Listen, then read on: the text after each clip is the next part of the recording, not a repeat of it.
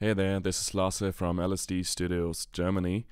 Today I want to show you the overdrive channel of the Earforce 2 guitar amplifier. And to do that, I'm just gonna reamp a looped guitar through the amp and turn the knobs so you can actually see how they affect the tone of the amp.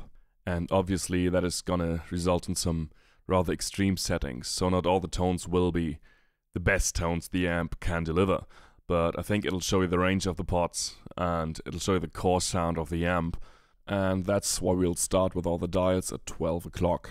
I'm not gonna be turning the channel volume or the master volume, just cause that might clip the microphone preamps, and uh, that could lead to some nasty distortions, so I just leave them set where they are now, which is about 1 o'clockish for the channel volume and like 10.30ish for the master volume. Although with those two dials alone there's a wide range of tones you can dial in. But for the purpose of this video I'm just gonna leave the pot set to where they are now. The tube screamer you see on top of the amp is switched off at the moment. Later in the video I'm gonna switch it on um, so you can see or hear how it affects the tightness of the amp and the overall tone but we start with the tube screamer switched off.